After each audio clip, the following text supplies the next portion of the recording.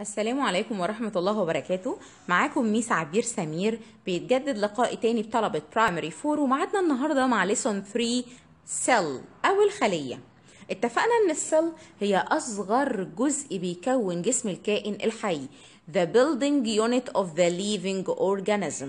بس ال cell دي ليها نوعين. في نوع اسمه plant cell أو الخلية النباتية وهي ال building unit of the plant body يعني أصغر جزء مكون لجسم النبات. والتانية اسمها animal cell أو الخلية الحيوانية وهي ال building unit of the animal body. لو بصينا في الشكلين بتوع ال animal وال plant cell هنلاقي إن في حاجات common أو مشتركة موجوده في الاثنين زي الدايرة اللي جوه اللي اسمها nucleus وكمان النقط اللي جواهم اللي اسمهم سيتوبلازم وال cover اللي اسمه ال cell membrane ومحاوطهم من بره. لكن ال plant cell أو الخلية اللي موجودة في جسم النبات متميزة بحاجتين مش موجودين في ال animal cell ال chloroplast أو ال green plastid البلاستيدات الخضراء وكمان ال cover الزيادة اللي بيحوطها من بره اللي اسمه cell wall أول حاجة ال function أو الوظيفة بتاعه ال nucleus هي بتعمل إيه؟ هي عاملة زي المدير كده. هي بتعمل organize أو بتنظم كل ال biological operation inside the cell يعني كل ال vital process أو كل العمليات الحيوية اللي ال cell المفروض تقوم بيها بتنظمها ال nucleus دي عمليات مهمة زي ال nutrition التغذية زي ال sensation الإحساس growth النمو. كل ده بتنظمه ال nucleus وكمان هي مسؤولة عن ال cell division وانقسام الخلية عشان عددها يكتر. السيتوبلازم بقى هو عبارة عن ال liquid أو السائل اللي موجود inside the cell. كل ال component of the cell أو مكونات الخلية suspend on it يعني موجودة جواه. وكل ال biological operation أو العمليات الحيوية اللي اتكلمنا عليها من شوية بتحصل فين؟ في السيتوبلازم أما بقى ال plasma membrane عاملة زي البوابة. هي بتعمل control the substances which enter or leave the cell.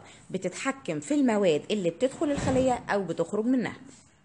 اتفقنا كمان إن في حاجتين بيميزوا. ال plant cell وموجودين فيها مش موجودين في ال animal cell أولهم ال cell wall ال cover الزياده اللي موجود من بره في ال plant cell وده the cell a definite shape.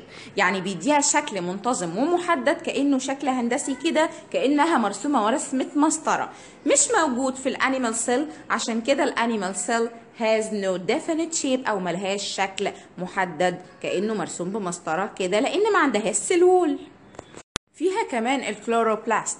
ودي بقى اللي مسؤولة عن عملية مهمة قوي ال plant بيقوم بيها اسمها photosynthesis process أو عملية البناء الضوئي اللي هنشرحها بالتفصيل في lesson 4 بإذن الله. ودي اللي مسؤولة إن ال plant can make their own food أو يقدر يقوم بصنع غذائه بنفسه.